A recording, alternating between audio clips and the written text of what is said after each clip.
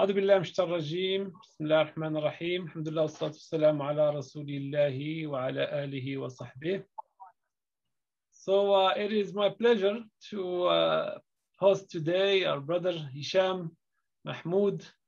Uh, Hisham Mahmoud and I go a long time. Uh, I think we met 1992, 93-ish. 93. 93.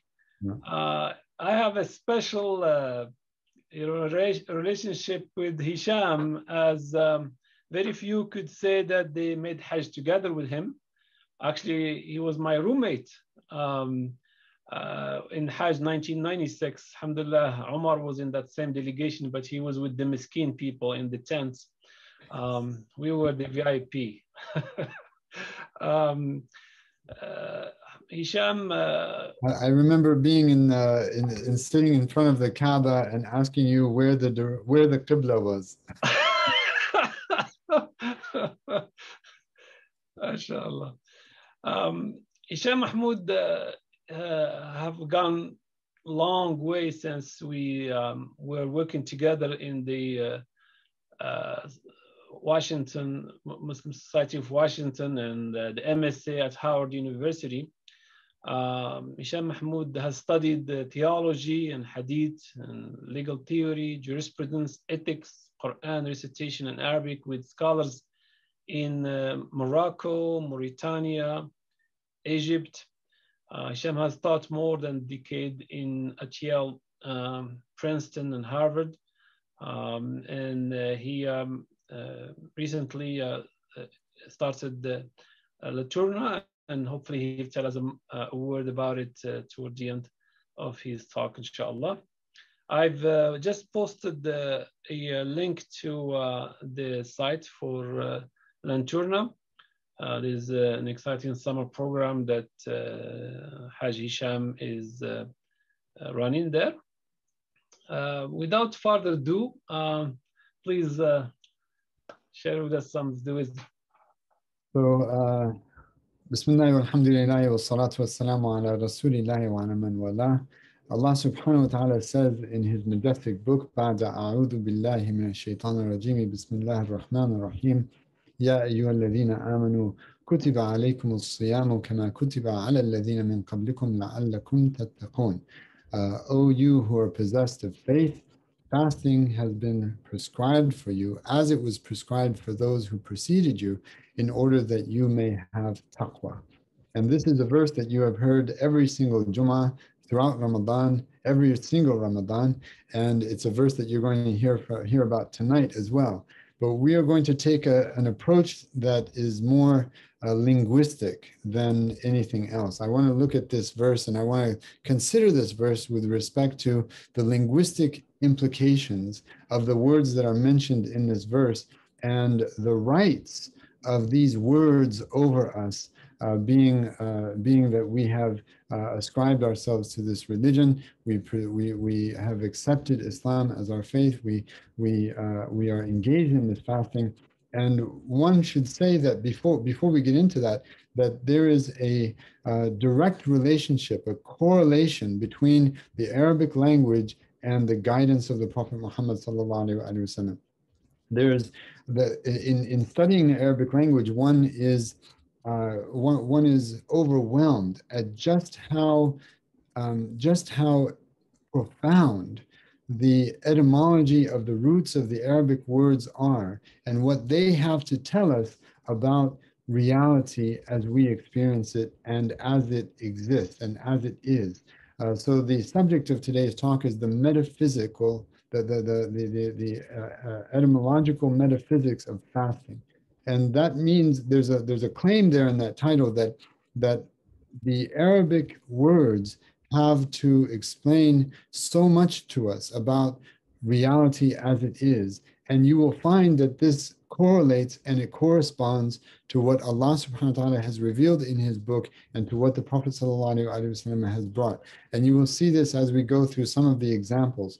And so I want to take a look at this verse in terms of some of the the the, the words that that impact and influence how we are to experience fasting uh, throughout the month of Ramadan. And so going one by one, Allah subhanahu wa ta'ala says, Ya ayyuhalladhina amanu. And that's the first word I want to look at is amanu.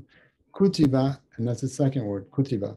عليكم الصيام and that's the third word صيام كما كتب على الذين من قبلكم لعلكم تتقون and that's the fourth fourth word taqwa so these four words iman kitab siyam and taqwa and I want to look at these four words and and and analyze them with respect to what our tradition has to tell us about the significance of fasting and see how they are mirrored in just the the etymology of these words and so the first of these is Iman. Ya ayyuhalladhina amanu.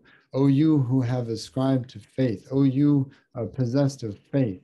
And the word Iman is a little bit deeper than just faith, because faith would uh, imply uh, tenets in which we believe. Uh, these are doctrines, uh, the, the creed of a person. That's all there connected to faith, belief and conviction right? These are some of the words that come to mind when we think of the word faith. But Iman is a little bit different. Iman is a, a, transitive word that takes a direct object, right? That there's a certain direct object. When you say amana, you have a direct object with that. And amn is related to that. And so, what is the direct object of iman? It comes down to amina. Amina means to secure, right? To secure, to uh, render something safe, to safeguard something. And that's amna. Amna is security, right? And that comes from the same word. Amana is a trust that you protect right? And that you render back to the to the person who entrusted you with it you render it back to him safeguarded. And so when we talk about iman what we are guarding is the intellect. The intellect is the direct object of amina right? So a person who uh, who believes in allah subhanahu wa ta'ala safeguards his intellect from false belief, from false doctrine, from blasphemy, from heresy, from ideology. These things that will uh, that will um, that will um, that will totally pollute a person's beliefs in Allah subhanahu wa ta'ala and in the messenger of Allah. So Iman is literally what we believe about Allah and what we disbelieve about Allah. What are those things that we believe about Allah and what are those things that we reject that, that, that, are, that are claimed about Allah subhanahu wa ta'ala, such as that Allah subhanahu wa ta'ala has a son, right? We reject that. These are, these are, these are, and by our rejection of that, we render our intellect safe and secure and, uh, and, and safeguarded. And so Allah subhanahu wa ta'ala is addressing those who have Iman, those who want to uh, safeguard their intellects, those who want to safeguard themselves and be literally on the safe side, right? Uh, kutiba alaykum siyam. And then kutiba is an interesting word because it literally, Allah could have said, wujiba alaykum siyam or uh, furida alaykum siyam, that fasting has been obliged upon you. Fasting has been uh, mandated upon you. But he literally said fasting has been written upon you. It has been prescribed to you, prescribed.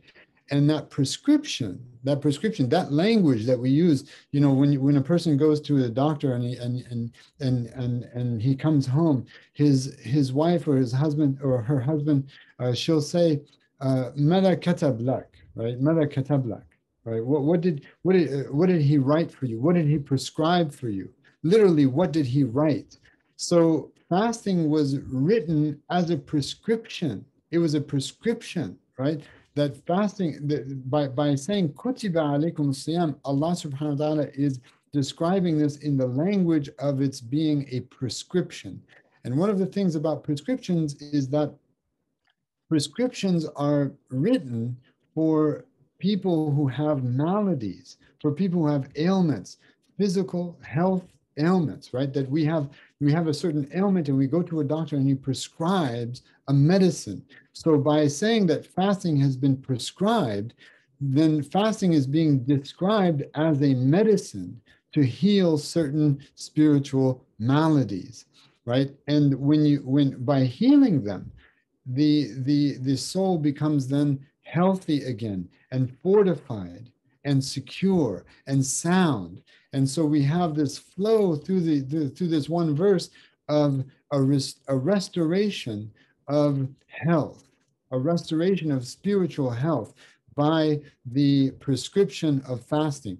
And so fasting is not just skipping meals. Fasting is not just going without water.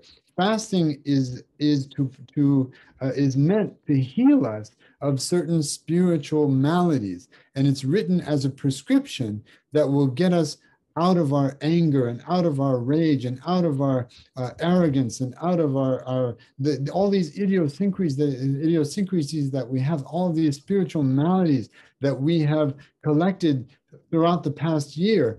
Fasting is meant to heal us from that and to purge us from that and to restore our spiritual health. For that reason, it was a medicine prescribed.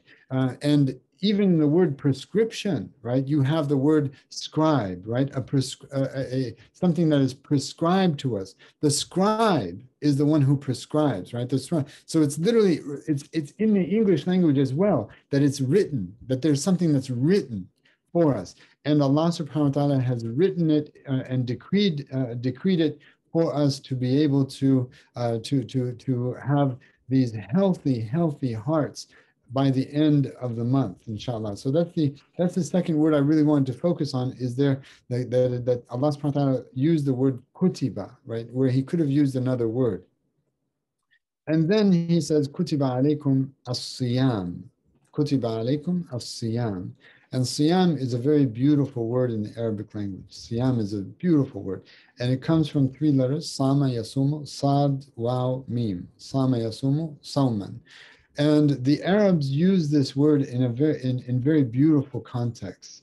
Uh, and be, before the Prophet ﷺ even was born, right? The, the way that the Arabs would use the word sama is uh, it, it, it, it, you can take from it spiritual metaphors for how we are to engage and experience our fasting in the month of Ramadan and fasting in general um, Allah subhanahu wa ta'ala, uh, the, the, the, the Arabs would use this word sama in, in three or four different contexts that I think are really informative for our experience of the fasting. They would say, for example, uh, samat rih, right? Sama.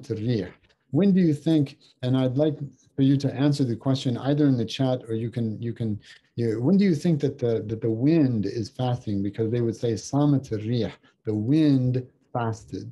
When do you think the wind would be described as fasting? Samat al-rih.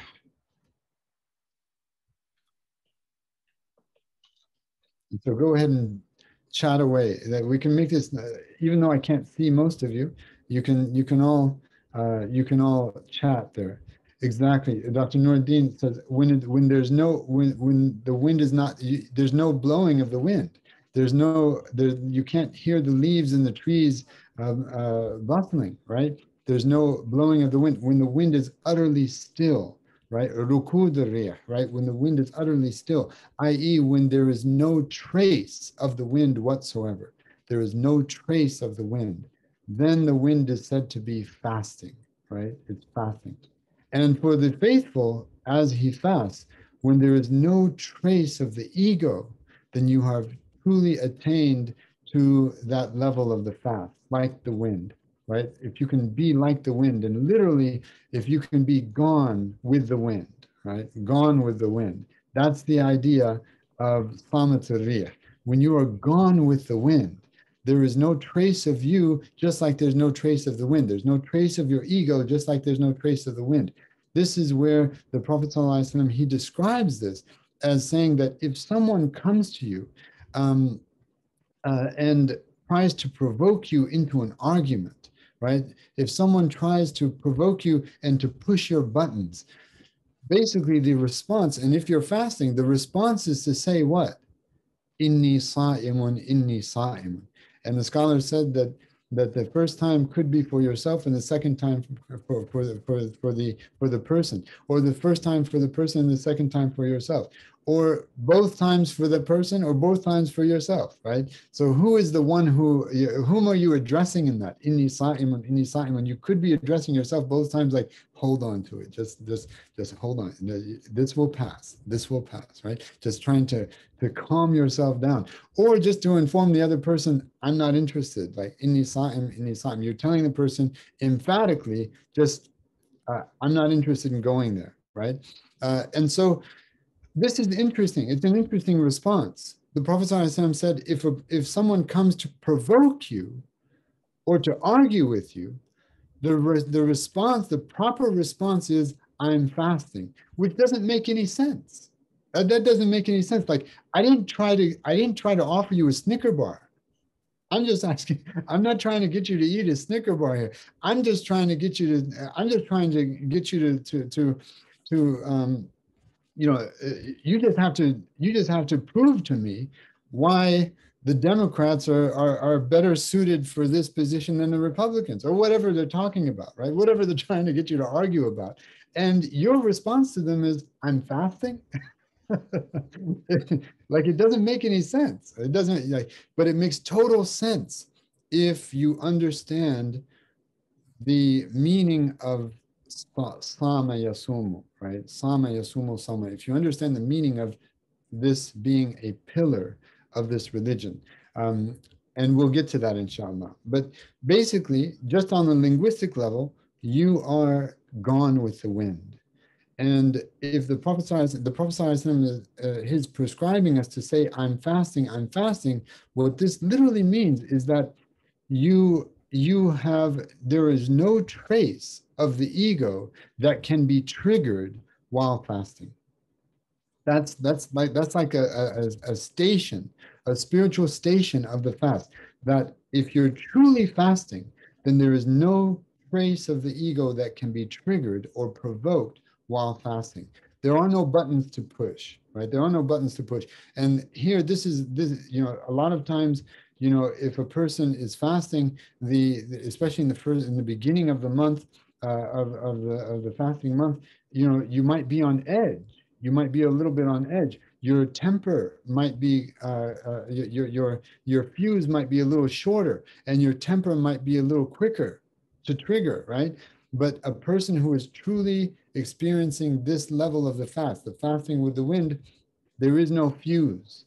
There is no fuse. You put it out, right? There's no fire. You put it out with water. There's no, there's no point, there's no button to press. You know, you can't you can't push on my buttons because there are no buttons to press to, to push. They're all out of order. All these buttons are out of order. They they don't work. They don't work anymore, right? And I, you know, I, I there, there's a there's a uh, you know uh, not to not to embarrass anyone, but there's uh, there's someone on this in in this group here um, taught me a very important lesson that whenever someone pushes your buttons or provokes you, there was something that that uh, that this person used to do. They used to wear a rubber band on their wrist, right? And they would just remove it from one wrist and put it on the other wrist, and that's how they just allow that to dissipate. They allowed it to just you know, uh, ease itself away. And then, and then if the provocation came again, or if the test or the, the, the tribulation came again, they just remove it from that from from that wrist and put it back on the first wrist. That's how the it shall all pass. Everything shall pass, right? And so this is the idea that there's no trace of the ego that can be triggered in Ramadan because I'm fasting and I'm gone with the wind. Just like the wind, I'm gone with the wind right? And the Arabs used to say, Samat Dajaja, or Samat, no, well, before that, they, they, they would say Saman Khayl, right? Saman Khayl, because this is connected to the wind. Saman Khayl. Uh, so the horse fasted. When do you think the horse would be said to be fasting? Go right to your keyboards, right to your keyboard. When do you think the horse is said to be fasting? no no or when there's no saddle there's no there's no saddle. Uh, okay very good very good. When before a race uh, when it is calm or still. This is exactly when the horse is fasting when when there's when the horse is not jumping up and down trotting about when it's not eating its hay when it's not bolting back and forth it's not like it's at a complete standstill. It's at a complete standstill. And that word standstill is a very important word in English because it's exactly what the word means, sam al khayl. It means uh, it's it's uh, it's um, synonymous with qam al khayl. Sam al khayl and qam al khayl. They would they would use these interchangeably. Qam and khayl is when the horse stands. It's just it's just standing, but it's not moving about. It's not. It's just standing. And Sam and khayl they would use that interchangeably. And Sama and Qama come together in Ramadan. Sama nahari naharahu wa qama laylahu, right? That he fasted during his during the day and he was standing still. He was at a standstill during the night, right? Because this is the this is the twofold purpose of Ramadan is to fast during the day in order to stand in the night, right? And in fact, the two the, the real barakah of Ramadan is in the nights of Ramadan. During the during our standing at Taraweeh, our standing in our prayer before Allah subhanahu wa ta'ala, because this is where the nights host the Quran, the recitation of the Quran. And so the, the fasting throughout the day is meant to serve the night. And in fact, the two meals that we have at the beginning and the end of the day, those two meals are now purposed. There's a there's an intention behind those two meals. The suhoor is meant to fortify ourselves to be able to endure the fast. And the iftar is meant in order to fortify ourselves to endure the prayer. And these are the twofold purposes of the two meals. Um, so basically, siyam is meant for qiyam, right? Our fasting is meant for our standing. And in this sense, we're just like that horse that is standing still, still in his being, still in his, Uh, you know, in, in, in uh, unbothered, unperturbed, and just receiving. And that is for the believer the greatest metaphor because in the prayer itself, we are totally at a standstill with our Lord. Our limbs are at a standstill. We have a tuma'nina, we have this tranquility in all of our limbs, and we are there to receive the words of our Lord. We're there to receive his words. And so, just like the horse, we're not fidgety, we're not jittery, we're not uh, bolting back and forth, lashing out back and forth. We're not busy in, in eating or drinking. We're not prodding about or anything like that. We're completely at a, at a state of utter serenity, calmness, repose, and tranquility, uh, especially in the evenings when we are standing before our Lord and Allah subhanahu wa ta'ala gathers the angels and He says, uh, and, he, and he instructs the angels to look upon us and he says, uh, Alam lakum inni. Did I not tell you that I know what you know not?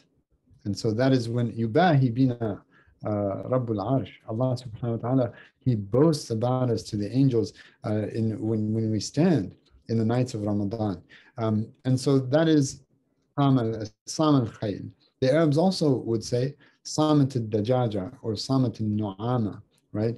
That the chicken fasted or the ostrich fasted, right? So we're again we're looking at this from the perspective of linguistics, like how did the Arabs use these words and how can we glean the benefit from just the import, the linguistic import of these words uh, that will now uh, inspire uh, uh us in our experience of the fast.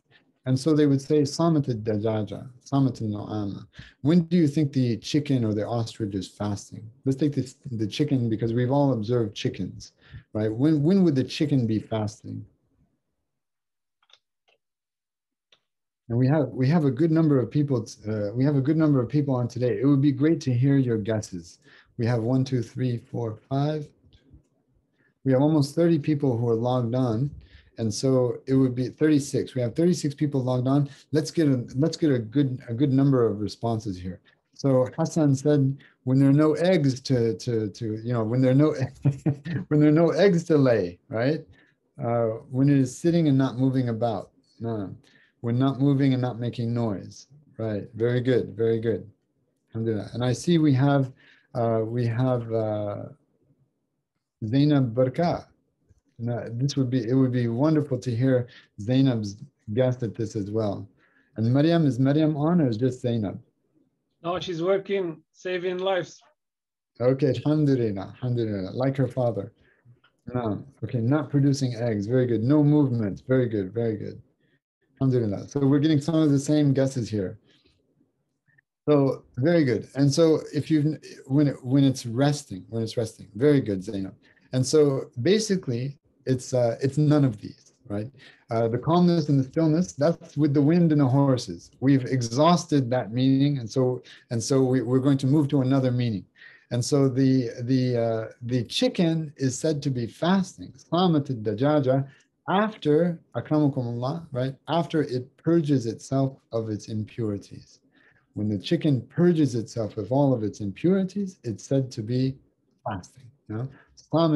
Oh, finally, after pecking away at whatever chickens eat all day long, uh, once the chicken purges itself of its impurities, it is now uh, accurately described as sa'ima, right? So for the faithful, when we are fasting, our fasting is a purging of impurities.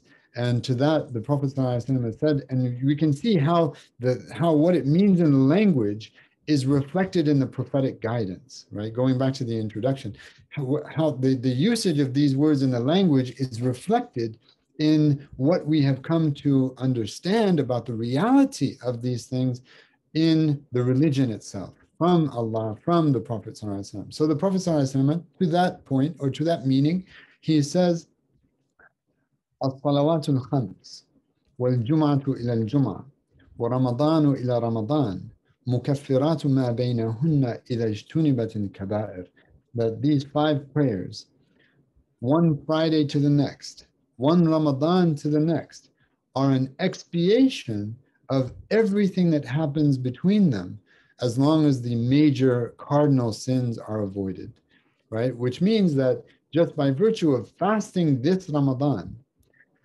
all of the sins that we have accrued to our names and to our books from last Ramadan till this Ramadan, they are wiped out. They're, they're gone. They're wiped out. They're erased. They are gone.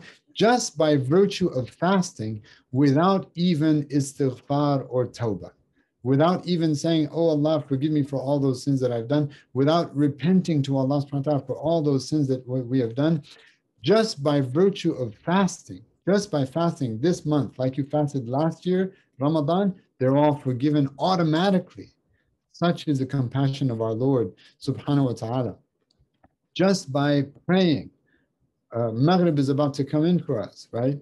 Just by praying Maghrib, the sins that I have done between Asr and Maghrib, they're all wiped out without me having to ask my Lord to forgive me of those sins. By virtue of my, my prayer, the next prayer, they're wiped out. The same thing with Jummah, right? Such is the compassion of our Lord. And the Prophet described the prayers. He said, he said, can you imagine someone who who dips into the river five times a day? Do you think that he will have any trace of dirt on him or any trace of, of impurity on him after having done so? And they said, no. He said, such is the prayer, right? Such is the, that's the, that's the prayer. And so this is from the bounty of our Lord. Of course, istighfar, asking Allah subhanahu wa ta'ala for forgiveness, and tawbah, this is all from the adab of, of, of, of shakura, right? Shall we not be grateful servants? This is from the etiquette of a, of a, of a servant who is grateful that, they, that we will ask for forgiveness for all of our sins, whether major or minor, because Allah subhanahu wa ta'ala will distinguish between our sins as major or minor. But we should not make those distinctions. We should not look at such and such a sin as this was this was this was a small thing. Uh, or, or, or because they said, do not do not look upon the insignificance of your sin. Rather, look upon the significance of the one against whom you have sinned. Right? Do not look at do not look at, at such and such a sin and say, ah, that was nothing, right? Because that is the sign of the hypocrite the hypocrite, and this is something the first person who taught me this was Omar Ewing, who's here with us. He, he said the first the hypocrite is the one who looks at the greatest of his sins as like they were, and this is a hadith he was teaching me. The hypocrite is the one who looks at the greatest of his sins like it was a mosquito coming to his nose that he brushes away. Oh, that was nothing. Uh, God will forgive. Um, oh well, so what? Right? This is the hypocrite. But the faithful person is the one who looks at the the the the the smallest of his sins like it was a mountain getting ready to collapse upon him right? That's how and so this is the sign of faith. And so even though just by fasting this ramadan all of the sins that we have accrued the minor sins that we have accrued are forgiven this does not mean that we don't don't also ask for forgiveness, that we don't engage uh, uh, our, uh, that we don't moisten our tongues with the with istighfar. For the Prophet himself, sallallahu alaihi wasallam, used to ask forgiveness for uh, uh, for for um, uh, from Allah subhanahu wa taala at least seventy times a day throughout the day, not just not just with the uh, with the beads here, you know, not astaghfirullah. It wasn't like that. It was throughout the day. Throughout the day, the Prophet ﷺ would ask for forgiveness for and and and this is coming from a man who did not sin, who did not willfully disobey his Lord, right? And he and he's establishing that as a, as as our exemplar. The point being here that Slama Samat Dajaja is related to purging of uh, purging of impurities, and for the faithful, the fasting is a purging of impurities. It's a purging uh, of impurities. The the the this purging and and and it's and it's interesting that we fast the month of Ramadan, because especially now we're talking about language, right? It wasn't always called Ramadan. There was a time before the Prophet ﷺ, generations before the Prophet ﷺ, that the names of all of the months of, of the, the Arab month those names were all changed, and we have the months that we now have, right? And so the original name for Ramadan was Natak. And because the Arabs were following a lunar calendar, um, when they when they would come, what, once the next month comes in, they would change the month, the name, right? They would change the name. And so when when the time for Natak came, they noticed that Natak was um, was it, it must have been around July or August. It must have been around July because it was the hottest month of the year. It was the hottest month of the year. And this was the month where the camels, and by the way, uh, one in every third word in the Arabic language has to do with a camel somehow. just got to come back to a camel. So that's just one. That's just one of the principles of the Arabic language. And so they noticed that the camel's hoof was burnt, right, uh, from from from from the desert sand. And so they called it Ramadan, right? That which burns, that which burns. And it was, it, it must have been around July or August that that happened, right? So literally, we are fasting in the month that burns away our sins. It literally burns our way, burns away our sins to ashes. And so this also is one of the, and like all of this is by the decree of Allah subhanahu wa ta'ala. He chose Ramadan. Allah subhanahu wa ta'ala decreed that the Quran would be revealed in Ramadan, the month of burning right? The month of burning. Because if we burn away our sins in Ramadan, then there's nothing to burn away in hellfire. If we burn away our sins in Ramadan, then hellfire has nothing to burn from us, right? We meet Allah subhanahu wa ta'ala pure without sins to burn because we burn them away in, in, in Ramadan, right? And so the the you know Ramadan is not just meant to burn away our calories, right? By by giving up uh, breakfast and lunch, right? But it's to burn away our sins, and that is the that is the purpose of the month, is to burn away our sins. Now, and so the the the uh, and so by burning away our sins, there's a purging. And interestingly enough, the next month after that, they was the month of Wa'il, right? Wa'il. And Wa'il, when that month came, they noticed that the camels, again, the camels and the sheep and the goats, that they didn't have milk in their udders. And so they called it the month of Shawwal. Uh, Yashulu means to be vacant, uh, to be emptied, to be purged, literally, to be purged. And so the udders of the camels the, the, and, and the udders of the, the sheep and the, and the goats, uh, th- they were purged of milk. So literally, you have the month that burns away our sins finds us the next the next month purged, completely purged with a with a new with a new uh, uh, page before us to write our deeds upon. And this page has no sins on it. There are no blemishes on this page. And so the Prophet ﷺ said that uh, that those who follow up, that those who fast Ramadan, the month of Ramadan, and follow it up with six days beginning with Shawwal in the Maliki madhab or with six days of Shawwal that all have to be, be fasted within the month of Shawwal uh, in the other madahib, then it is as though he has fasted all the, the entire year. And Imam Johari Abdul Malik, he was the first person to bring this to our attention that doing the math of that, right? Um, Allah subhanahu wa ta'ala's messenger said that every good deed is multiplied tenfold. Uh, and so if you do the math of that, you have 30 days of Ramadan, which are uh, 300, right? So 30 times 10. And then six days, beginning with Shawwal, right? Six days, and that's 60. 300 plus 60 is, a, is 360, which, which are more than an entire lunar year right? That's more than an entire lunar year. The lunar year is 354 days. And so just by the multiplication, why six days? Why, why, why six days of Shawwal? Six is not even an, it's not even an interesting number symbolically, right?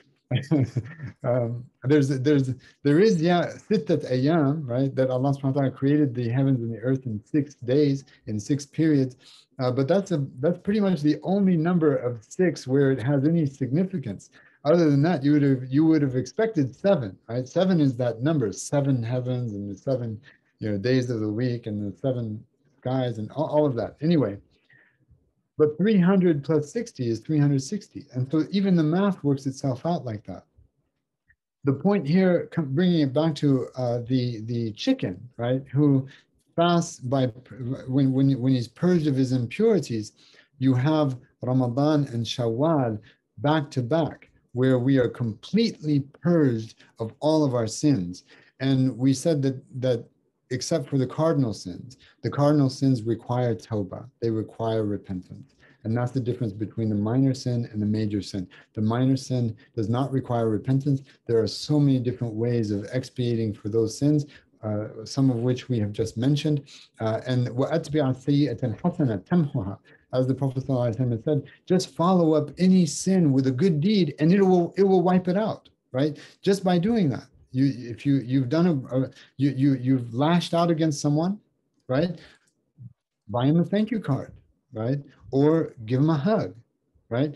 Or you know, or or or, or cook them a meal and it'll wipe it out. It'll just wipe it out. That's but major sins require repentance.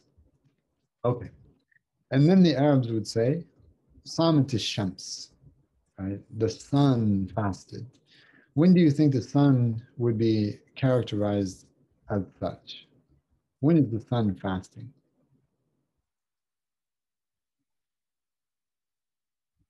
And let's get, we have, let's see, we still have 36 people. No one signed off. Alhamdulillah, that's a good sign. That's a good sign that no one signed off. So at sunset, very good, very good. Um, and I want, we have 36 people. I want at least half of you to give your guesses, right? Half of you. An eclipse, beautiful, beautiful. Khusuf, that's the eclipse. Very good, beautiful. When do you think? Uh, we need more guesses. That's three out of 18. We want 18 people to respond. Oh, when it's cool. Okay, when it's cool. When when there's when there's no heat, right? When there's no like you would expect the sun to be blazing down on you, and and, and but it's cold outside. Okay, very good guess. All right, keep them coming, keep them coming, you guys. Always, the sun is always fasting. or the sun is at its hottest. When it, when the sun is at its hottest, then it's fasting. Interesting, interesting. So the opposite, right? Uh, Dr. Nuruddin said when it's when when it's at its coolest, and now we say no when it's at its hottest. when it's in the middle of the sky, within the middle of the sky. All right, so Amani got it right. Amani got it right. When the sun has reached its zenith, right? The sun is climbing from the east. It climbs to the sky, right? From our vantage point, right? Of course, we're the ones who are going around the sun and the, and the earth is rotating. But, but from our vantage point, the sun is rising and we call it the sunrise, right? Although it's us turning, the sun rises. And as it's climbing through the sky, as it's climbing, when it finally hits its zenith and it hangs out for about a half an hour there, right? Where there's no shadow on either side of an object, right? now the sun is said to be fasting. And at that point, it's actually haram for us to pray. There are three times where, where we, we are not supposed to be praying, and that's as the sun is rising, the disk of the sun, as the disk of the sun is actually rising, and as the disk of the sun is setting, and when the sun is in the middle of the sky, right? And that's and, and it's there for about 25 minutes or so. And so that is when the sun is said to be fasting, samat shams, when the sun literally reaches its highest point, when it reaches its pinnacle, right? And this is this is also reflected in what we are taught about Ramadan, that for the for the the month leading up to Ramadan, the companions couldn't stop talking about it, and the the dua of the Prophet ﷺ was frequent. Allahumma balighna Ramadan, Allahumma balighna Ramadan. He didn't just say that a week before Ramadan, uh, like in the last week of Sha'ban. Oh Allah, allow us to reach Ramadan, allow us to reach, extend our lives so that we may reach Ramadan. It was the highlight of the entire year. And then the the months afterwards, they would look back at Ramadan and lament. And they would seek to bring back Ramadan by fasting, fasting those six days, fasting Muharram, fasting Dhul Hijjah, fasting Mondays and Thursdays, fasting the days following the radiant nights.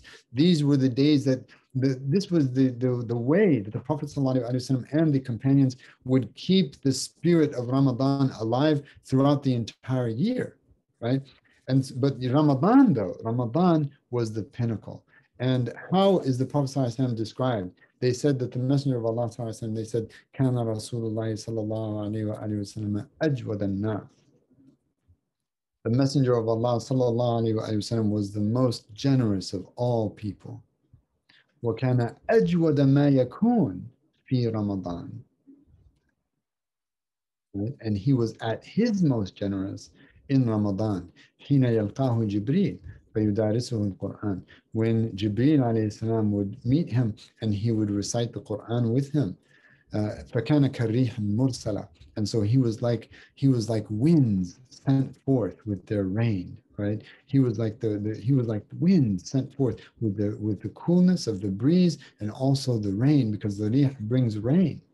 And so the Messenger of Allah وسلم, just to put this into perspective, even before he was called to prophecy, even before Jibreel came to him, the Prophet وسلم, was described as إنك لتحمل الكل إنك لتصل الرحم Khadija, she mentions the Prophet with five virtues. She says, You, uh, you maintain family ties. And you bear the burdens of other people. وتكسب المعدوم or tuksib, wa tuksibul ma'dum, and you enrich those who are indigent, wa ala and you help redress the wrongs that are done to people. Um, and there's a fifth one.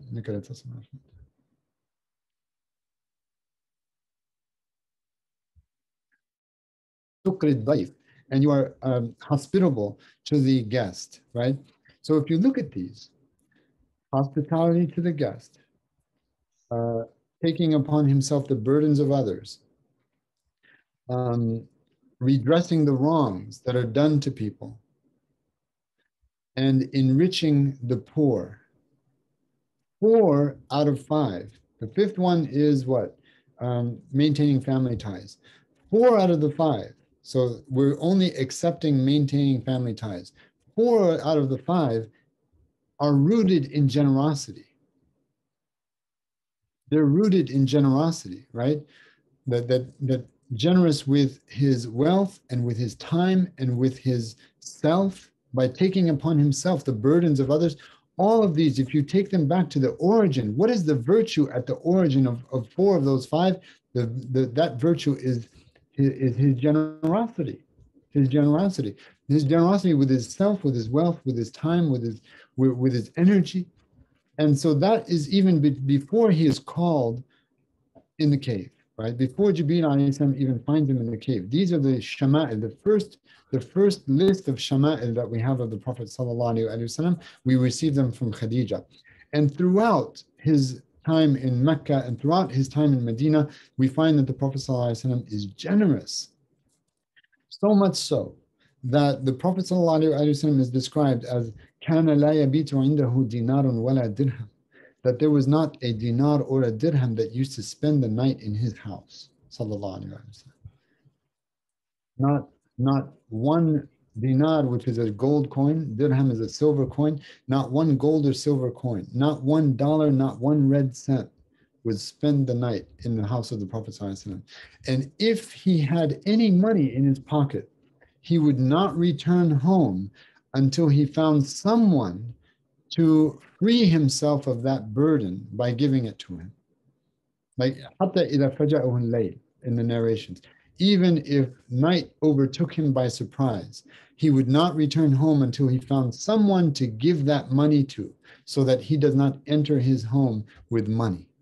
And then sometimes he would find money there waiting for him because someone would have sent sadaqah or something like that uh, for, for, for anyone to, for the Prophet to distribute it. And so the Messenger of Allah was, that's how he was by default. That's just who he was. Furthermore, you would be hard pressed to find the Prophet وسلم, in a state where he is not in debt to someone. Like there's no, there's no, I don't know of any period in the, in the, in the history of the Prophet in Medina, especially in Medina, where the Prophet is actually not indebted to someone.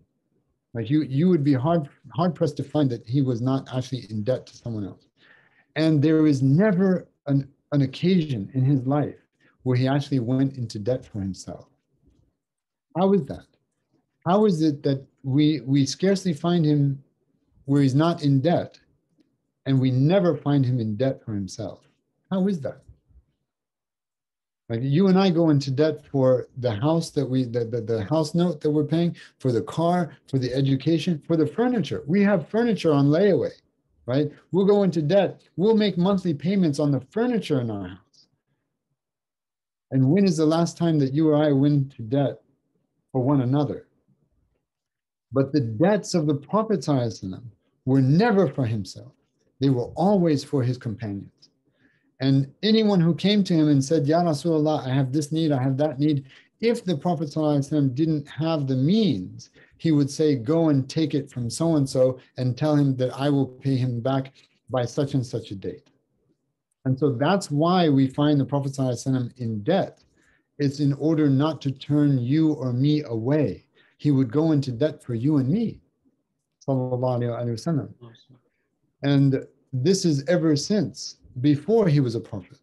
This is ever since before he knew he was a prophet. Allah subhanahu wa ta'ala, one of the first commands, one of the first injunctions that he has ever received was in Surah Al-Duha. وَأَمَّا السَّائِلَ فَلَا تَنْهَرْ and as for the one who, who asks of you, do not repel him, do not turn him away. And so this here is teaching us that the Prophet ﷺ was that generous. So if that is how he was, if that is how he was, how exactly does he outdo himself in Ramadan? How can you, how can you outdo your like that's that's who. That, how can he outdo himself? They said that he was the most generous of all people, and he was at his most generous in Ramadan. Like he would he would even outdo himself in Ramadan. And why is that? Because he's fasting the sun. He's fasting with the sun. The sun is said to be fasting when it reaches its zenith, its highest point, its pinnacle, its apex in the sky. The sun is climbing and it's climbing and it's climbing. Once it reaches its highest point, it's said to be fasting. And this is how we find the Prophet sallallahu alaihi wasallam. And they would ask him, Ya Rasulullah, why do you fast on Mondays and Thursdays? He said, Those are the days in which my deeds are presented before Allah. And I like that my, my, my Lord finds me fasting when my deeds are presented. Right? So fasting is what gives him that, that edge, right? Even over himself, sallallahu alayhi wasallam, which is unbelievable. I mean, it's like, how, how can you even fathom that? how can how can we fathom that? Sallallahu alaihi wasallam, that he would be even more generous in Ramadan. I don't even know how to understand that. You know, we don't even have example. There's not there's not there's not even examples that we can point to. Like how how can you possibly outdo yourself if that's how generous you are by default?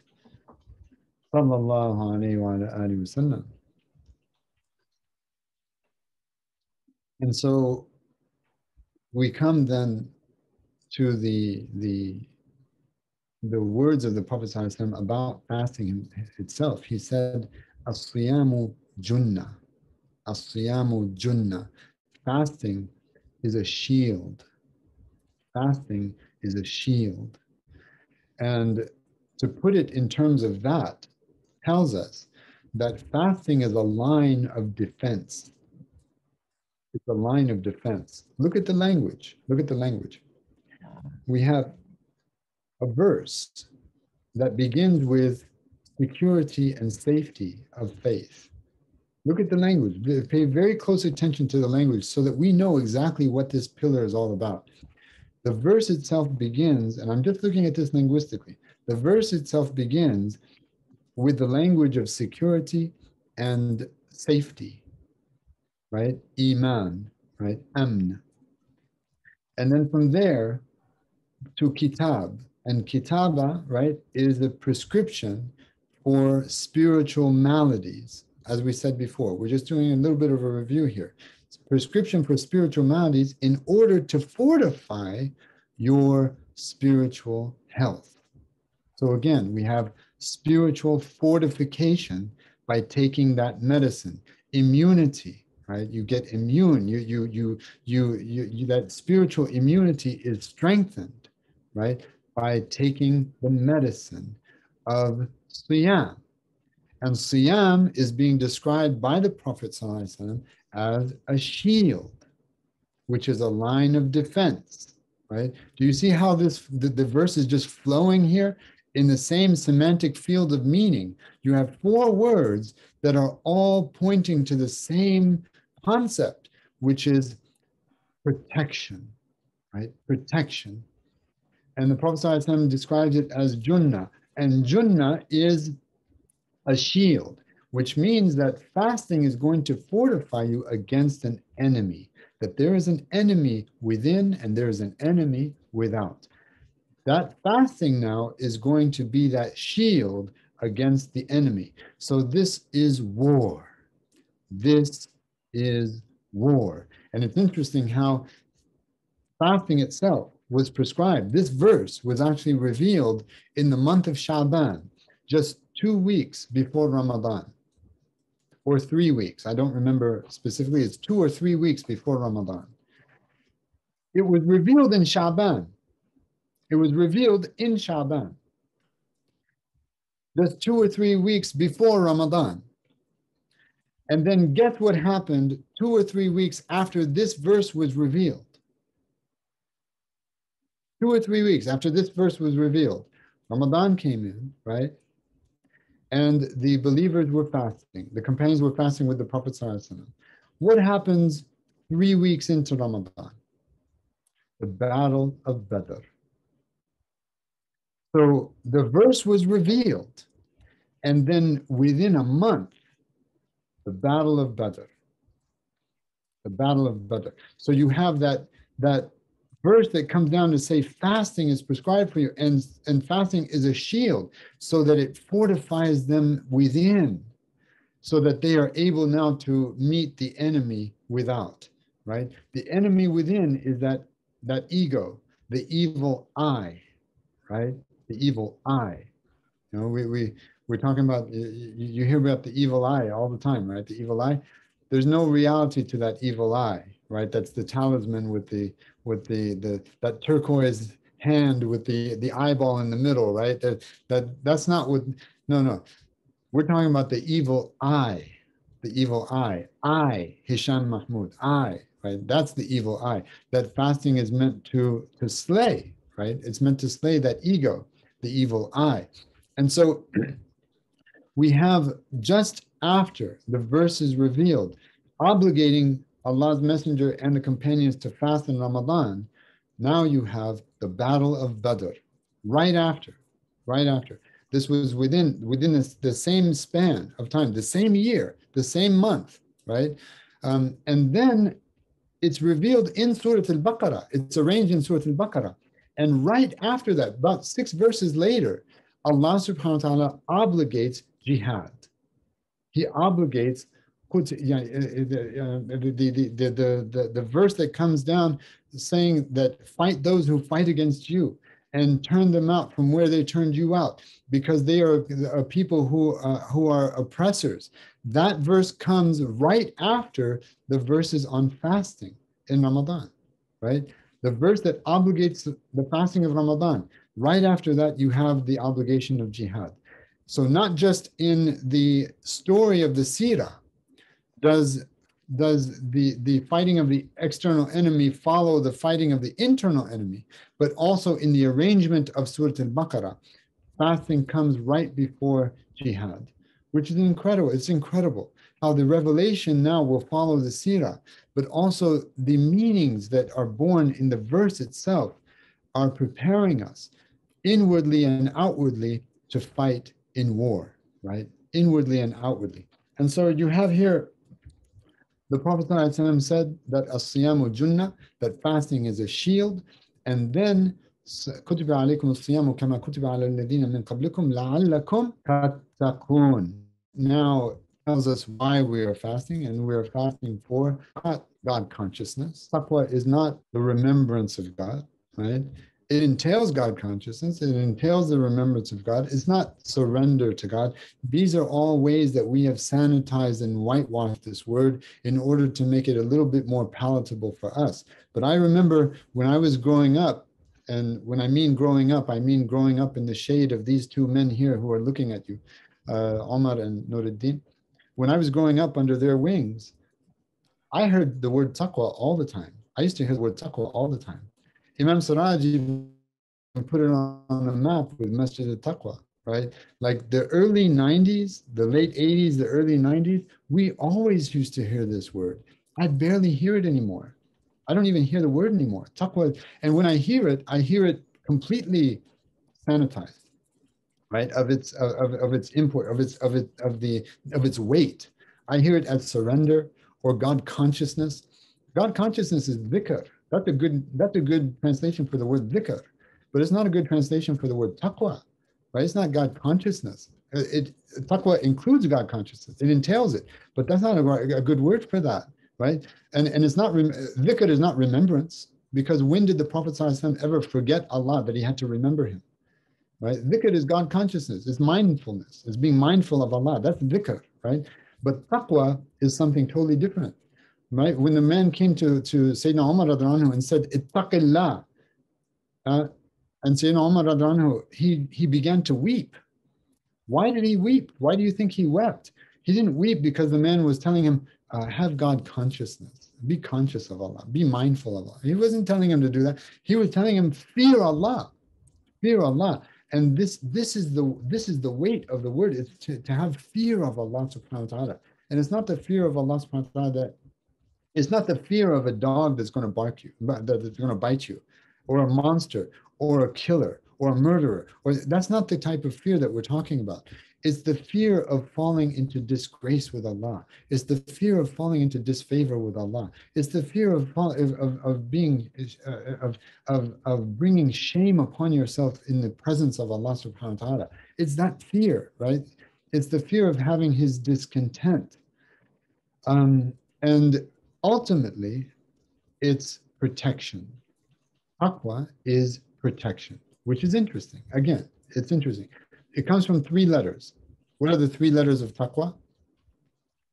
The three letters that comprise the word taqwa are waw, qaf, and ya. These are the three letters that we find the word taqwa. If you're looking at a dictionary, you'll find it under waw, qaf, and ya. And waw, qaf, and ya are the root for the word taqwa and waqaya. And a waqaya is literally protection. Waqaya means protection. And Allah subhanahu wa ta'ala says, Ya ayyuhalladhina amanu, qu anfusakum wa ahlikum nara. Hmm? O you who believe, protect yourselves and your families from the fire. The Prophet himself, and that comes from the same word, taqwa. The Prophet himself وسلم, said, اتقوا النار ولو بشق تمرة ولو بشق تمرة he said, have taqwa of the fire, which doesn't mean have consciousness of the fire, be mindful of the fire. It doesn't mean that, right? be, be, uh, uh, it, it means protect yourself from the fire. Protect yourself from the fire, even if with the with half of a date, he said. Even if half of a date, you're going to use half a date to protect yourself. So what does that mean? What does taqwa literally mean? It means X protected himself from Y with Z. That's the meaning of taqwa, the mathematical meaning of taqwa. X protects himself from Y with Z. nara walau tamra. Protect yourselves, right? You are X. Protecting what? Yourselves, right? Protecting yourselves. So you are protecting yourselves. From what? From the fire. With what? With half a date. So it's where X protects himself from Y with Z, right? Now, the root meaning here then is protection. And Abu Hurairah anhu described taqwa as, as walking on a, on, a, on a dark night, walking in a thorn laden um, uh, path where you have to lift up your garments to see, to make sure that you don't step on any of the thorns. That's how he described the word taqwa. And I got that meaning from a book that I borrowed from Omar Ewing some 25 years ago that I still haven't returned. I don't have any intention of returning it, right? And in fact, I think I saw a copy of it in your library, and so I didn't think to return it. You, you don't need it, you have your own copy. So I read that definition some 20, 25 years ago in that book, and it stuck with me, right? And that's the meaning of taqwa. That's the meaning of it, that you are protecting yourself. And so taqwa then is to protect ourselves from Allah through Allah, or from Allah by Allah. We protect ourselves from Allah by Allah. Nafirru min Allah ilallah.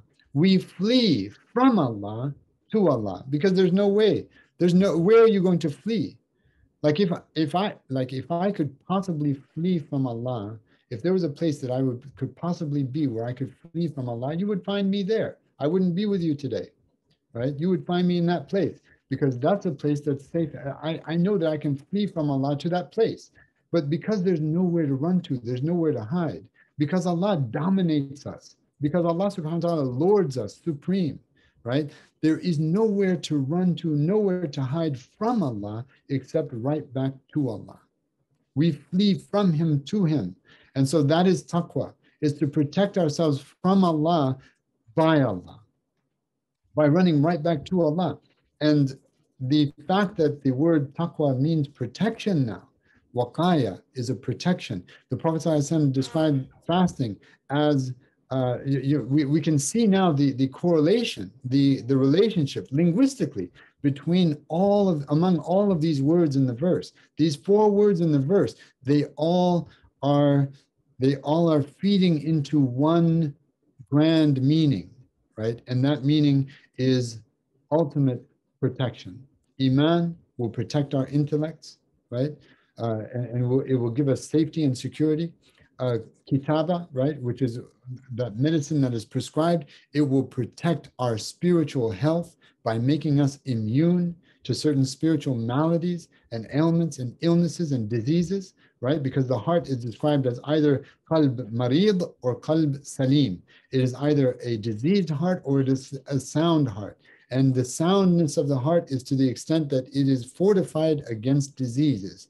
And then you have the siyam, which is a fasting, which is a junnah, a shield. And all of that is la'allakum tattaqun, in order that you protect yourselves, in order that you protect yourselves. And so we have this incredible, this incredible message here in this one verse where the, the meaning of protection is interwoven in all four of the, ver- the, the, the, the, the, the words that are of import in this verse that obligates us to fast. And hopefully now it's a little bit clearer how the abstinence, how our abstaining from food and drink and conjugal relations, how that feeds into taqwa, how it feeds into taqwa, pun very much intended. Um, and so when you have um, when you have one of the definitions of taqwa, and we haven't gotten into the definitions of taqwa, we haven't actually looked at taqwa beyond just linguistics. But if you look at the the the technical nomenclature of taqwa uh, in Jurjani and Razi, Raghib al-Isfahani, what what what what they said about taqwa in uh, in terms of its technical definition, one of the meanings that come up frequently is tark al-kathir min al-mubah. Tark al-kathir min al-mubah. It is leaving off much of what is permissible. That is taqwa, right? Not what is impermissible. We leave off all that is impermissible and much of what is permissible. So that's exactly what we do when we fast. Eating is permissible, drinking is permissible, conjugal relations with our spouses, that's permissible. And so by leaving off in Ramadan what is permissible, right? We're leave, we're avoiding what is permissible in Ramadan, right? That leads us to taqwa, whose definition is tark al kathir min al mubah, is leaving off much of what is permissible. So Allah subhanahu wa ta'ala will then take uh, that meaning, right? That meaning, and turn this into a pillar of this religion. It is a pillar without which this religion collapses. And if you think about it, this is the only pillar out of the five that is based on inaction, where all the other four pillars are based on action, right? All the other four pillars are based on action. The, the pillar of fasting is a pillar of abstinence, of inaction. That what do we do with our stomachs? Absolutely nothing right? Right? This is this is when we when we abstain and we refuse to we we we we we, we disengage and we that is when this pillar becomes uh, meaningful for us. And that is what that that is what makes this thing a pillar. And it's interesting that that not eating or drinking for an entire month leads us to taqwa. It's just i mean the, the the connection is not obvious when we think of siyam as fasting it's not fasting this is not the pillar of fasting. Uh, fasting in English means um, uh, going on a diet. It means burning calories. It means um, it means uh, uh, you know you have your dry fast and you have your wet fast. It means intermittent fasting. That's that's all of these connotations come when we think about fasting. And so when we think about okay, fasting was prescribed in order that I may have taqwa. It's not really clear It's not clear. What's the connection between fasting and taqwa? Is not clear. And that is because siyam is not fa- it's not fasting. I'm sorry, it's not fasting. It's abstinence. This is the pillar of abstinence. It's the pillar of abstaining. And in that regard, now we can say, okay, abstaining, it's much broader now because it's not just abstaining with, from food and drink. من لم يدع قول الزور والعمل به فليس لله حاجة أن يدع طعامه وشرابه. Whoever does not leave off or abandon, forsake false speech and acting thereupon, then Allah is in no need of his leaving off food and drink. And uh, uh, Sayyid Nuruddin, in his last khutbah, he talked about the levels of the fast, right? Fasting with our limbs, fasting with our hearts, fasting with our minds. That now now we're talking about the essence of the fast, which is basically not fasting at all because you can't really fast with your eyes, but you can abstain with your eyes. You can't fast with your ears and your tongue. You can abstain with your ears and your tongue. And now it makes sense, right? So this is the month of abstinence. This is the pillar of abstinence. And when we think of Ramadan as the month of abstinence, then we are exposing our hearts to receive much more of the profound spiritual blessings of this ritual uh, that is uh, known as siyam. Uh, and with that, let us uh, bring this to an end. We just focused. I didn't really, I didn't quote hadith. I didn't quote, you know, uh, the scholars, the ulama. I didn't quote. I, I, I didn't go into any of that because I wanted you to see how the etymology of this divine language, and I believe it's divine. The etymology, Allah subhanahu wa ta'ala says that we revealed it as an Arabic recital. We revealed it as an Arabic Quran, specifically Arabic, ability to intellect and between the revelation and between reality as it is. All of these are coming from the same source. And you can see that I didn't need to quote Quran or Hadith today. I didn't need to quote it because it's already embedded in the language itself, in the etymology of the language itself, which for me is one of the most fascinating uh, realities of this language that Allah subhanahu wa ta'ala has chosen for his revelation Everything else that I could have mentioned from the hadith and from the Quran and from the uh, the sayings of the Sahaba and the sayings of the scholars and, the, and, and, and Imam al-Ghazali's book of fasting, all of that you are going to see now be a, an organic extension from everything that we just covered today just by analyzing the etymology of these four words. وصلى اللهم وسلم وبارك على سيدنا محمد وعلى اله وصحبه وسلم تسليما كثيرا. جزاك الله خيرا Sheikh Hisham. Uh, Barakallahu Fik, uh, very uh, interesting uh, presentation and different perspective on the uh, concept of fasting. Our, our previous uh, speaker uh, spoke on the um, usul tafsir, the fundamentals of um, you know Quranic interpretation. And of course, he started by tafsir al-Quran bil-Quran, which is the highest level of tafsir, tafsir Quran bil-Sunnah, then the aqwal al-Sahaba, and he, he gave the evidence from the book and from the Sunnah that aqwal al-Sahaba is also a, an important fundamental of tafsir. But then he came to the Arabic language that's my point here, is one of the five fundamentals on how you could understand the Quran. And, and um, people who read translation of the meaning of the Quran, they're just reading that, the translation of the meaning. Um, and um, so, so um, it, it is actually an incentive for us to um, uh, look at uh, etymology of, of the wording of the Quran as another approach of the, to the tafsir. Jazakallah. I would say, um, I would say, I would say, and I have done that. Uh, and, and whenever I speak about any of the verses of the Book of Allah Subhanahu wa Taala, I have, um, I have seen uh, the benefit of doing that, and uh, and I think that, um, I think that uh, one of the reasons why we don't have, we have tafsir in every genre.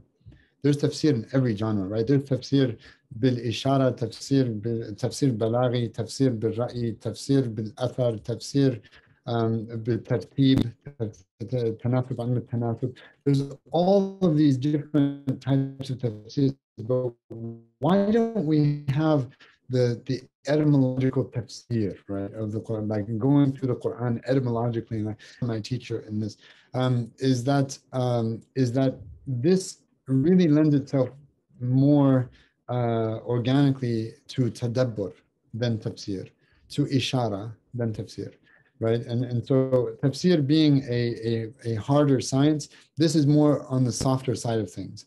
And you, you can have you can have tadabbur, right? Tadabburat, but but there there may be certain certain cases where the etymology of a word just doesn't it just it, just doesn't inform the meaning.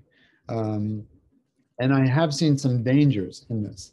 I have seen some people go to uh, to uh, pretty ridiculous conclusions based on the etymology of words in trying to redefine some of the ahkam that have come from the verses in the Quran, right? And so I've uh, so so I think I think everything you said is is is uh, accurate there, but I would I would uh, ask you to comment um, that uh, that really this would uh, be more in the realm of tadabbur uh, and not tafsir. Uh, Um, which is uh, reflection, which is reflection and not commentary or exegesis. no. Uh, anybody uh, in the audience who uh, like to ask question or uh, make a comment, please feel free. Uh, raise your hand uh, using the reaction mode there, um, or just type on the uh, the chat. So you want to take this question that Sister Amani put in there? Sure, sure. Um. My question is, I deal with youth between 12 and 17. I'm talking with them about the spiritual side of being fasting, but I've noticed that they are struggling to answer the question when their friends ask, what is the point of torturing yourself by fasting? alhamdulillah. Uh, yeah, that's a, you know, I mean, there's, well, between 12 and 17, um, you know, the, uh, so from your perspective, what would be the best answer to approach them? The point of torturing yourself to, to fasting. Basically, it's it's um, one thing about youth is that they're they're competitive. You know, they are competitive. They like a challenge, and so uh, you know, not to. I think to reframe it is important because there is no torturing of ourselves. And one one of the things that, and they're also empathetic by nature. One of the things that uh, you can say is that it's really to uh, to gain uh, one of the benefits to be gleaned is that you gain an appreciation for people who hunger in the world and to experience what the poor are going through on a daily basis. Anyone with a conscience uh, any student uh, between that with a conscience will will be able to relate to that and to appreciate that. I think that's one way of answering that question. Another is that children by nature are very competitive also uh, some more than others and uh, one thing to say is that it's basically a challenge. It's, like a challenge uh, to uh, go the whole day without food and drink, to be able to strengthen your uh, will and to strengthen your your um, your, uh, your your determination. And and by going through this exercise, you're not weak to the temptation of pizza and all of this other stuff that you that we're surrounded by, as especially fast food and whatnot that whenever you're hungry, you just go and eat. I mean, that's you know that that's that's just a person who's responding immediately to the to the desire for food and drink. And so this is a way of strengthening ourselves, not torturing ourselves. That this is a way of gaining control over our. It's, it's like mind over matter. And so this might be a way that the youth might might um, might uh, uh, come to appreciate it and even take the challenge themselves right? You say, you know, if it's it's not as hard as you think, one, but secondly, you actually feel stronger. You feel lighter on your your, your your feet, and you don't feel like you're uh, at the uh, that you're at the behest of the call of uh, of of, um, of hunger and thirst. Yeah. Um, Brother Muhammad, go ahead. Yeah, assalamu alaikum wa rahmatullah. and thank you, uh, um, Sheikh Hisham for this um, great journey around uh, uh, الإشارات والعلامات for the verses, so the, the signs of the the words in the in the verses of Allah. Uh, that was very great, and thank you for this great kind of insight there. Uh, just I want to extend uh, the the the meaning or maybe kind of um, request here if this is extension make uh, it is valid or not. When allah subhanahu wa ta'ala started with ya ayyuhalladhina amanu so iman there coming as one of the big components uh, and components to be um, to be raised for people that they are aiming for the safeguard of their intellectual but also for the safeguard of their emotion because the fasting here as it's coming it doesn't challenge much the intellect as much as challenging the emotional state of practicing this this exercise of fasting. So I would just to to to bring this um, this layer or this flavor of safeguard that iman that uh, most of the time uh, in our scholarship and books we refer and we lay down to or is the safeguard of, um, of the intellect. And we miss the point that there is in the Iman component as a concept, as authority of the word, as etymology in the Quran, is, uh, is also safeguard of the emotion state of this awareness, of this control. This is part of your state of Iman, state of the peace with Allah, state of the peace with oneself and with your environment. Um, and just I want just to to bring that uh, as a totem and how far it's valid in the context of Allah subhanahu wa ta'ala using Iman here with the word of fasting and with with the concept of the taqwa here. And thank you. Jazakallah khair. الله يبارك فيك الله يبارك فيك أفادكم الله أفادكم الله Um, any other um, comment? I'd like to um, uh, also uh, give uh, Sheikh Hisham a minute to talk to us about this program um, that's on the screen. Yes, Bismillah, Alhamdulillah, wa salatu wa salam. So I, I left the academy as, uh, as Dr. Nuruddin mentioned uh, to institute an initiative called Lanturna. And uh, we have been doing retreats and seminars for the past three years, alhamdulillah. This is our summer program. Uh, we've done this for about uh, uh, four, um, four times now, alhamdulillah. A Tale of Two Cities, where we're going to take two weekends, one in um, July and one in August uh, the first weekend, uh, the, the last weekend, the last two weekends of July, basically, to go through the Sirah, the entire Sirah of the Prophet Wasallam. There's about 40 hours of content in this, uh, and it's a, it's um, it's uh, attended by uh, youth, it's attended by college age students, it's attended by senior citizens. I mean, we have a, a, a nice uh, demographic of, of people who, who have come. We used to do this in New Mexico in a retreat in person, uh, but uh, ever since uh, COVID, we've been doing this online. And alhamdulillah, we have some uh, honored guests who are going to be with us as well. And you can go and visit uh, lanturna.com forward slash summer. And we're also engaged if you just go to lanturna.com, you'll see some of our uh, uh, our uh, current programming as well. And we're just uh, trying to extend our family uh, here by uh, inviting you all.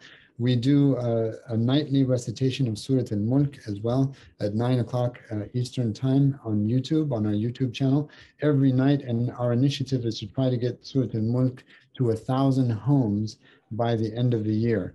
Uh, and so uh, this is our intention. We want to revive the sunnah of the Prophet. We meet every night at nine o'clock uh, live and then uh, you can access the recordings later if that, that doesn't work for you. Um, and uh, we're doing that every night uh, at, for, for the, because the Prophet did not sleep without reciting Surah Al-Mulk, and he said that there were 30 verses that he wished would be in the hearts of every one of his ummah, and th those 30 verses are Surah Al-Mulk. And so we do that every night, and those are some of the programs that we're doing right now. We have an ongoing Ramadan program where we went through the entire uh, book of fasting by Imam al-Ghazali. Uh, and uh, and and we are still going with that program uh, at uh, at night, uh, starting from nine o'clock, inshallah. So you're more than welcome to join us, and and I think Hamza, Omar's son, attended some of those programs himself, and so Alhamdulillah. You can ask Hamza what he thought about those. I uh, put the uh, website uh, on the chat if you want to copy that anybody who's interested, inshallah, to um, please uh, check it out. Um, also having on the screen here uh, our next program, which is next Saturday, May 8. We have in our own Omar uh, Ewing having a chat with Sheikh Ala As-Sayyid on the topic of leadership and children, why and how and the ROI. Uh, so uh, I invite all of you to uh, join us in this event, inshallah. this will be our annual Ramadan fundraising event. Um, and um, as you know, Horizon Academy um, is part of our focus and interest is to um, uh, uh, transform um, ourselves uh, through the work of leadership. And so we start with the children at younger age. Um, and, uh, and so looking for an exciting exchange. Uh, Sheikh um, Dr. Yasir Ghanam will be uh, facilitating this session uh, next week, inshallah, Saturday. It'll be at 2.30, not 3.30, at 2.30. Um, uh, so it's a little earlier, immediately after Dhuhr here in Calgary. Uh, Uh, any um, last word, uh, Sheikh Hisham? Allah yasalamkum. Allah. I'm honored to be with you today, and I pray that Allah subhanahu wa ta'ala accept your all of you in the presence of uh, Dr. Nuruddin and Ustad Omar uh, Ewing, uh, two of the closest brothers uh, to my heart uh, in, um, in my entire life. And so may Allah subhanahu wa ta'ala accept from them and preserve them, inshallah. And may Allah bless your efforts and the visionary work and leadership and the guidance of uh, Dr. Nuruddin Baraka. May we all benefit from his barakah. Ameen ya Rabbil Alameen. And thank you again for having me. Uh, wassalamu alaikum wa rahmatullah. I'm going to uh, head out just to get uh, the after while there's still time. Jazakallah Assalamu alaikum, everybody. Inshallah, we'll see you on Saturday.